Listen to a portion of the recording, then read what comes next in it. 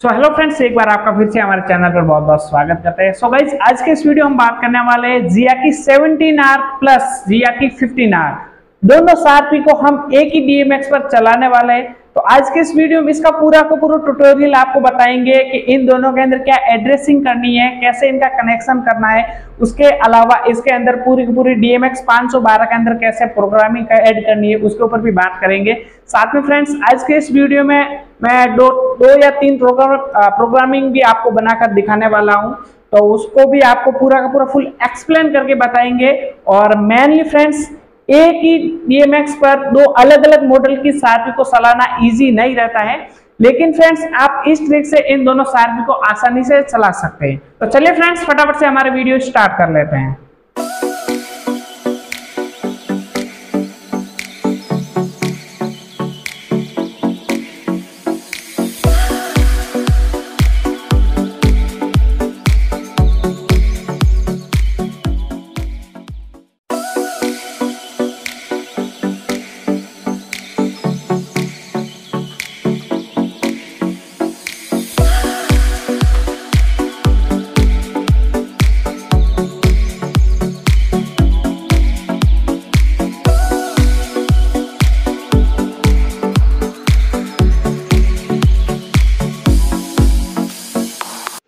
So guys अभी हमने चारों सारपी है रख दी है।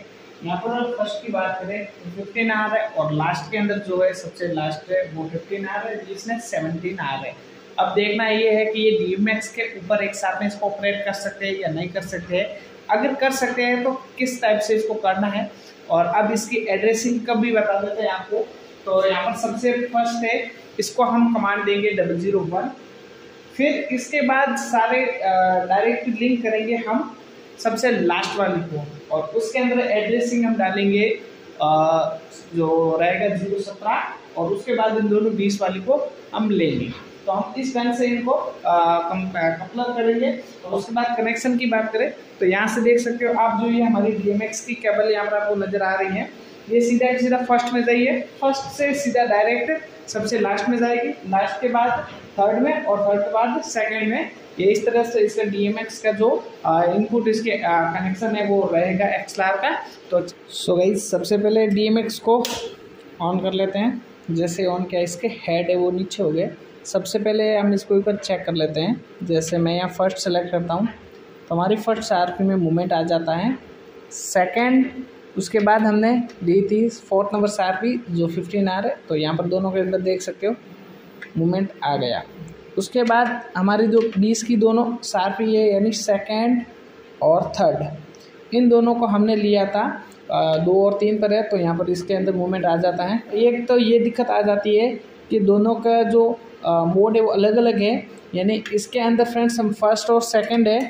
सॉरी फ़र्स्ट एंड फोर्थ सारपी इसको हम टेल पैन एक नंबर से करा सकते हैं और दो नंबर से यूज़ ले सकते हैं। सेवन्थ और एट में लैंप मिलता है। और दूसरी बात है सेकेंड और थर्ड सारफी के अंदर यहाँ पर लैंप इससे नहीं आता है। उसके अंदर लैंप आता है, वो हमको आता है। दो और तीन से आता है। तो यहाँ पर आप देख सकते हैं। तो ये एक दिक्कत है। यानी कि अब हमारे पास टोटल चार सार पी है। चारों को प्रोग्राम बनाने के लिए एक एक को सेट करना होगा, तभी जाकर इसकी प्रोग्रामिंग बना सकते हैं। तो हम उसके लिए सबसे पहले प्रोग्राम मोड को प्रेस करके रखते हैं। यहाँ पर मैंने लॉन्ग प्रेस करके रखा। और यहाँ पर आप देख सकते हो प्रोग्रामिंग की इंडिकेटर ब्लिंकिंग करना शुरू हो गया। तो हम फ़र्स्ट सबसे पहले फ़र्स्ट और फोर्थ आरपी को आगे की तरफ़ लाएँगे। यह एक जगह पर सेट कर लेंगे, जैसे ये होगी। और यहाँ पर हम इन दोनों को लैंप है वो ऑन कर लेंगे। ठीक है? ये लैंप हो गए ऑन अब इन दोनों को हम बंद कर देंगे और बीस के दोनों को सिलेक्ट करेंगे। उसके बाद इनको हम मूवमेंट कराएँगे, एक सर्कल पर लाएँगे। जैसे ये इसका उल्टा रोटेशन में लाती है तो इसको एक जगह पर हम लेंगे लेंगे, जैसे ये चारों है। उसके बाद इस दोनों के अंदर हम लैंप को ऑन कर लेंगे। यहाँ पर चारों के अंदर लैंप आ चुका है। तो अब हमारी एक शेष हो गया तो हम यहाँ से मीडी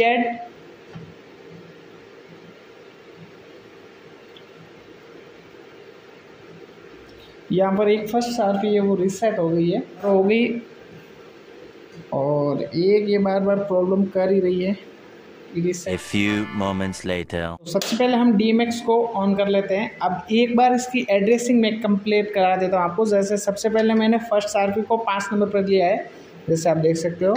और सबसे लास्ट यानी फोर्थ आरपी उसको मैंने चार पर लिया है। और जो बीस में है उसको मैं सेकेंड और थर्ड पर लिया है जो आप इसके मोमेंट को देख सकते हो। तो अब सबसे पहले हम इनकी प्रोग्रामिंग ऐड करने के लिए प्रोग्राम बटन को प्रेस करके रखते हैं। और इसके अंदर जो पुरानी प्रोग्राम थी, वो सारी की सारी डिलीट कर दी, एकदम क्लियर है। अब सबसे पहले हम एक सर्कल चूज़ करेंगे, कोई भी, जैसे मैं फोर्थ और फिफ्थ को सिलेक्ट करता हूँ, जैसे फ़र्स्ट और फोर्थ सार भी। यहाँ से इसको एक मूवमेंट लेंगे, यहाँ से, और इनको लैंप को ऑन कर लेंगे, दोनों के अंदर लैंप आ गया। तो ये ऑन हो गया, अब सेकंड और थर्ड को लेंगे, और इसको भी एक सर्कल में लेंगे। ये हो गया और इन दोनों के लैंप को भी ऑन कर लेंगे। तो अब हमारा एक से से वो कंप्लीट है तो इसको हम मीडी ऐड और इसको वन पर ऐड कर लेंगे। पूरी एलईडी ब्लिंकिंग हुई, यानी एक हमारे प्रोग्राम सेव हो गया है। उसके बाद हम इसको वापस से दूसरे नंबर ऐड करेंगे। तो यहाँ पर मैं इन दोनों को लैंप को ऑन ही रखता हूँ और इसको हम वापस से सेट करेंगे इसको इस टाइप से। फोर्थ और फिफ्थ यानी फ़र्स्ट और फोर्थ सार्पी को सिलेक्ट करेंगे और इसके हेड को हम ऊपर करेंगे। सबसे पहले इनको सेंटर में लाएँगे। और यहाँ से हम इसको ऊपर करेंगे। चारों का मेल एक होना चाहिए, क्योंकि हमारी दो सेवनटीन आ रहे, दो फिफ्टीन आ रहे हैं उसके हिसाब से। ये हमारा हो गया दूसरा सेस इसको हम मीडी एड और दो पर सेव कर लेंगे। फिर यहाँ से हम थर्ड जो शूज़ है वो करेंगे वो। इसके हेड को नीचे ले आएँगे और इसके रोटेटिंग को भी थोड़ा आगे ले जाएँगे।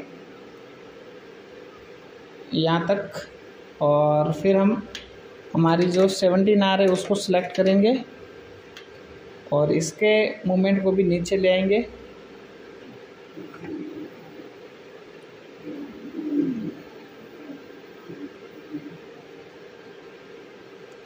ये हो गया चारों का पोजीशन और इसको हम मिडी एड और थर्ड पोजीशन पर इसको सेव कर लेंगे। तो ये हमारा हो गया सेव यहाँ से ये हो गया फ़र्स्ट सेकंड और थर्ड इसको हम ऐड कर लेंगे अब सीधा। अब हम यहाँ से सेज टू सिलेक्ट करेंगे। उसके बाद यहाँ पर फ़र्स्ट सर्कल को सिलेक्ट करेंगे और मीडी एड पर क्लिक करेंगे। सेकंड को सिलेक्ट करेंगे।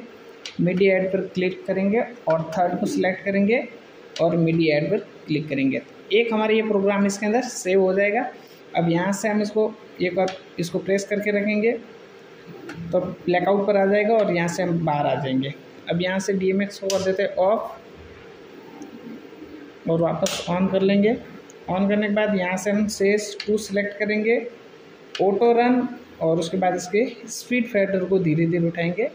जितने आसानी से ये ऑटोमेटिकली चल सके उतना। तो अब देख सकते हो, एक हमारे ये प्रोग्राम ऐड हो चुका है इसके अंदर।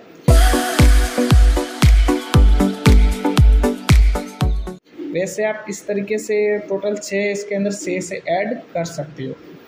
सो so अब हम एक सेकंड सेज बनाते हैं तो प्रोग्राम को प्लेस करके रखेंगे। और उसका फ़र्स्ट के अंदर हम क्या क्या ऐड किए, वो एक बार देख लेते हैं। फ़र्स्ट सेकंड थर्ड सीन और ये तीन सीन अभी ऐड किए हैं, यानी इसके आगे के सारे के सारे खाली है तो अब हम आगे के सीन के लिए यहाँ से इसको सिलेक्ट करेंगे। दोनों को आगे लाएँगे। यहाँ तक। और इसको हेड को पूरा नीचे कर लेंगे। यहाँ से। तो यहाँ से हम थर्ड को सिलेक्ट करेंगे। और उसको हेड को आगे की तरफ़ लाएँगे और इसके हेड को यहाँ से ऊपर उठाएँगे।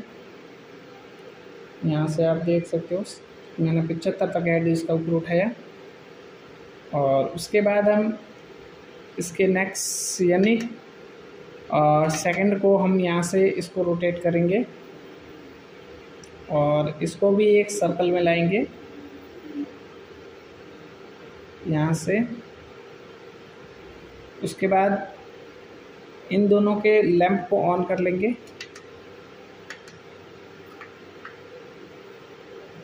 और उसके बाद हम पाँच नंबर, यानी फ़र्स्ट सार्वी को यहाँ से इसके हेड को ऊपर कर लेंगे। यहाँ से सबका पचहत्तर तक रखा है, इसका पचहत्तर तक रख लेते हैं। ये हो गया। और इस दोनों के भी हम लैंप को ऑन कर लेंगे। अब हम इसको ऐड कर लेंगे मिडी ऐड फोर्थ पर।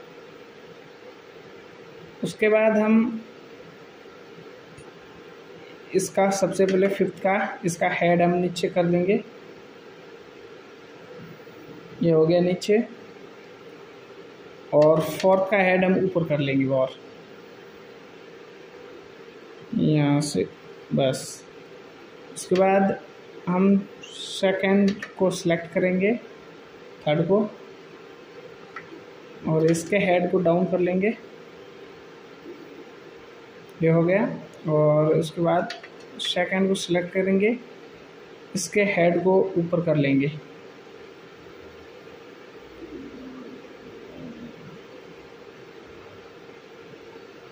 यह हो गया ऊपर। अब इसको हम मिडी ऐड और फाइव पर ऐड कर लेंगे। अब हमारा फोर फाइव ये हो गया। अब हम इसको ऐड करेंगे सीन चेस थ्री पर। तो चेस थ्री लेंगे, उसके बाद हम फोर्थ को सिलेक्ट करेंगे मिडी ऐड फाइव को सिलेक्ट करेंगे और मिडी ऐड तो ये हमारा एक इसके अंदर और ऐड हो गया। तो यहाँ से अब सीधा पूरा बाहर आ जाएँगे। और ये हो गया हमारा ब्लैकआउट यहाँ से डी एम एक्स बंद उसके बाद आप से ऑन करेंगे। ऑन करने के बाद अब हम इसके अंदर ऑटो चलाएँगे एक बार, जैसे सेस थ्री ऑटो और इसकी स्पीड को ऊपर करेंगे। तो ये एक सर्कल हो गया हमारा। तो हमने टोटल दो सर्कल बना लिए हैं। सो so फ्रेंड्स एक और इसके अंदर प्रोग्रामिंग ऐड कर लेते हैं। तो इसके लिए डी को ऑन कर दिया है। प्रोग्राम बटन को प्रेस करके रखा है। और इसके बाद हम एक मल्टीपल सर्कल सेलेक्ट करेंगे, जिसमें दो दो सार भी ऐड करेंगे। तो सबसे पहले मैं फ़र्स्ट नंबर सारपी को लेता हूँ और इसको एक मोमेंट पर लाकर छोड़ देता हूँ। उसके बाद हमारी थर्ड नंबर सारपी जो रहेगी सॉरी सेकेंड नंबर सारपी जो ये वाली रहेगी, इसको एक मोमेंट पर लाकर छोड़ देते हैं। जैसे ये दोनों एक दूसरे के आमने सामने हो, ये इस टाइप से। और लैंप अभी बंद ही है और इसको ऑन नहीं किया है। तो अब इसको थर्ड सार सार सेलेक्ट करेंगे। उसके बाद इसके भी एक मोमेंट को ले लेंगे, जो उन दोनों का आपसी मोमेंट रहेगा। और उसके बाद हम फोर्थ नंबर जो सबसे लास्ट उसको सिलेक्ट करेंगे। और उसको हम इस टाइप से सिलेक्ट कर लेंगे। अब सभी के अंदर लैंप है, वो ऑन कर लेंगे। जैसे दो का लैंप ऑन हो गया, उसके बाद हमारी सेकंड और थर्ड का ये लैंप है, वो ऑन हो गया। ये इस तरह से इसको हम प्रोग्राम को ऐड कर लेंगे। मीडी ऐड एक पर ऐड कर लिया। उसके बाद हम इनको वापस से सेकेंड ऑप्शन पर ले जाएँगे, जैसे फ़र्स्ट को लिया मैंने। और इसको इस टाइप से ले लिया और इसको हेड को ऊपर कर लिया। सभी का हेड हम एक सेम सिचुएशन पर लेकर जाएँगे, जैसे मैंने बहत्तर, तिहत्तर का रखा है इसका हेड उसके बाद इसको बंद किया और सेकंड को सिलेक्ट किया। इसके हेड को अब ऊपर ले जाएँगे। इस सिचुएशन में और यहाँ से हेड के ऊपर ले जाएँगे। बहत्तर हो गया। उसके बाद हम हमारे थर्ड साथी को सिलेक्ट करेंगे। इसके हेड को घुमाएँगे रोटेट ऊपर हो गया। और इसको अब रोटेट कराएँगे। सेम एंगल तक। उसके बाद हमारी फोर्थ इसके हेड को भी ऊपर और इसको भी घुमाएँगे।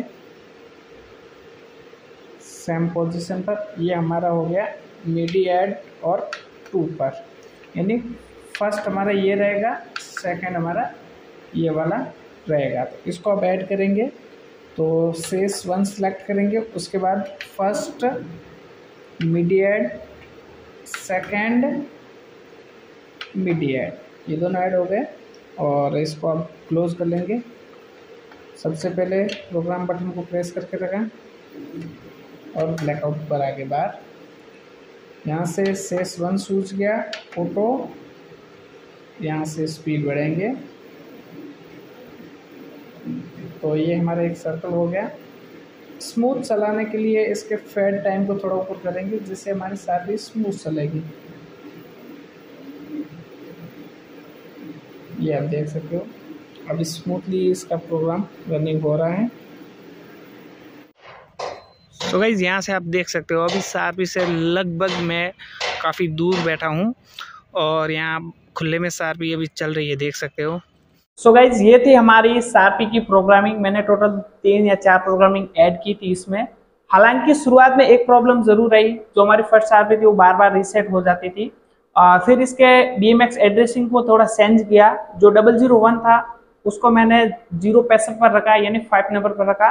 उसके बाद ये प्रॉब्लम नहीं आई और फाइनली हमने इस चारों का एक साथ में प्रोग्रामिंग बना ली है जो काफ़ी अच्छे से रन कर रही है। तो आप भी इस तरह से एक डीएमएक्स पर अलग अलग मॉडल की सारवी भी चला सकते हो। हालाँकि अगर आप बड़े मिक्सर यूज़ करते हो तो उसमें इन चारों को एक साथ में सलाना पॉसिबल होता नहीं है, लेकिन आप डीएमएक्स के ऊपर ये चारों को चला सकते हो। सो गाइज़ आशा करता हूँ आपको ये वीडियो पसंद आया होगा। तो गाइज़ आज के इस वीडियो में इतना ही। मिलते हैं हमारे अगले किसी नेक्स्ट वीडियो में।